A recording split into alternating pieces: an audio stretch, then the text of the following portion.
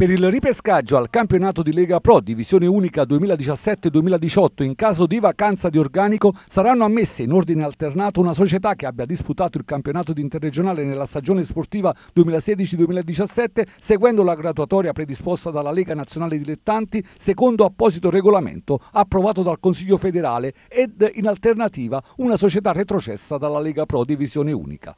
La FIGC inoltre ha diramato una dettagliata normativa che non ammette dubbi a livello di interpretazione situazione. Ricordiamo che delle società retrocesse soltanto il Lumezzane può richiedere il ripescaggio, mentre tra le campane la Nocerina in buona posizione avendo vinto i playoff. Secondo le ultime indiscrezioni la Casertana starebbe pensando di ingaggiare Pasquale Porcaro, difensore centrale, classe 88. Nell'ultima stagione tra i protagonisti della promozione in Lega Pro della Sicula Leonzio con 27 presenze ed un gol è in scadenza di contratto con il club siciliano e potrebbe dunque vestire la maglia dei Falchetti nella prossima stagione. Il club rossoblu molto molto attivo, ha rinnovato il contratto di Simone De Marco, centrocampista centrale classe 94, che nella stagione appena terminata ha giocato nel complesso 37 gare. Si tratta di un rinnovo biennale col nuovo contratto che scadrà il 30 giugno 2019. Dopo quattro stagioni in rosso-blu dunque si rafforza il legame tra i falchetti ed il giocatore, tra i protagonisti della cavalcata appena conclusa.